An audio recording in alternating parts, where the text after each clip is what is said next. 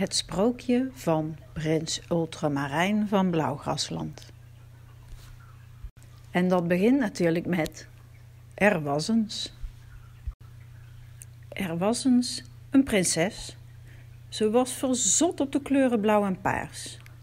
En daarom leefde ze op de hei. Ze was jong en droomde van een knappe prins die haar hart zou veroveren. Op een dag zag ze een jongeling die op Dopheide nectar zat te drinken. Maar ja, zo op het eerste gezicht niet de prins van haar dromen. Totdat hij zijn vleugels opende en kijk, de binnenkant van zijn vleugels was van het blauwste blauw. De prinses werd op slag verliefd, ze had vlinders in haar buik. Of wat denken jullie dat vlinders in hun buik krijgen als ze verliefd zijn? Dit was haar prins. En hij nam haar mee naar zijn land, Blauwgrasland. Daar had hij een schitterend blauw slot. Ze lieten er geen gras over groeien en gingen aan de slag. Hun kinderwens werd snel vervuld. Ze maakten een dot van een eitje. Weldra werd een zoon geboren en de prinses, die zo van blauw hield, gaf hem toepasselijk de naam Ultramarijn. Maar in gedachten noemde ze hem ook wel liefkozend mijn rupsie. Met de komst van prins Ultramarijn van Blauwgrasland was niets meer veilig in het slot. Maar hij groeide als kool, hij at en vervuilde en at en vervuilde.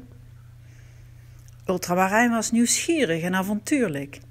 De wereld buiten het slot lonkte. In de diepte aan de voet van het slot leefde een mierenkolonie. Urenlang hield hij ze daar beneden in de gaten. Het was er gezellig druk, daar was vast van alles te beleven. Zou hij naar beneden durven springen? Jawel hoor, op een avond sprong hij pardoes over de rand. En nog voor hij goed en wel was bekomen van zijn val, kwamen er al mieren naar hem toe. Maar ze hadden angels en flinke kaken. Oh, oh, ze gaan bijten. Ultramarijn voelde antennes kriebelen op zijn rug en hij kromp ineen van schrik. En toen voelde hij de zachte tongen van twee mieren. Tot zijn verbazing begonnen die hem schoon te likken. Daarna namen de mieren hem mee naar hun nest en stelden hem voor aan de rest van de familie. Hij werd behandeld als een vorst. Hij kreeg eten, onderdak en bescherming. Het was heerlijk om zo verwend te worden. De dagen regen zich aaneen in weken en de weken in maanden en ondertussen werd het buiten steeds kouder. Ze kropen dicht tegen elkaar aan en zo vielen ze in een diepe slaap. In de lente, na maandenlange slaap, werd Ultramarijn weer wakker. Oh, wat heb ik een vreselijke honger. En prompt kwamen de mieren weer aan met de heerlijkste spijzen. Tegen de zomer was Ultramarijn zo dik geworden dat hij bijna uit zijn vel barstte. Bah, zei de prins. Ik ben een vatzig, verwend prinsenjong geworden. Nu had hij bij de mieren wel gezien hoe de larven konden veranderen van hulploze feuten in mooie sterke mieren.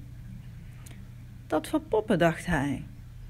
Als ik dat nou ook eens probeer dan word ik vast ook zo sterk en mooi. Zo gezegd, zo gedaan. Doei, tot over een paar weken, riep hij zijn vriendinnen toe. Maar het liep heel anders dan Ultramarijn had voorzien. Zo'n verpopping verandert alles.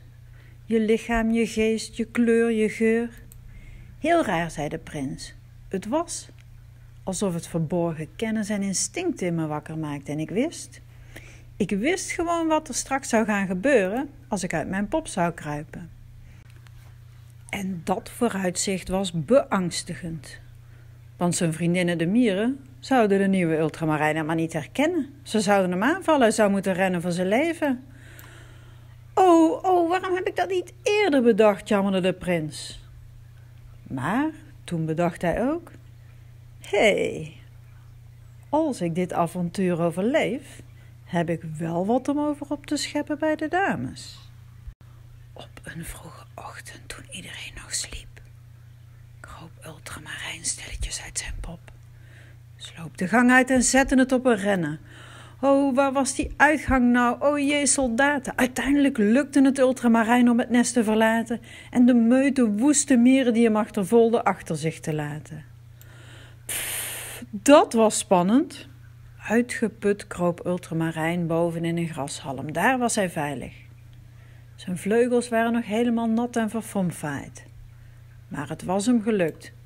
Wat een avontuur! Ultramarijn zwol op van trots en zijn vleugels kwamen fier overeind. Driewerf hoera! schreeuwde de prins terwijl hij uitkeek over zijn blauw grasland. En toen ontvouwde hij zijn vleugels en vloog nieuwe avonturen tegemoet. Dag, mooie prins. Vaarwel, het gaat je goed.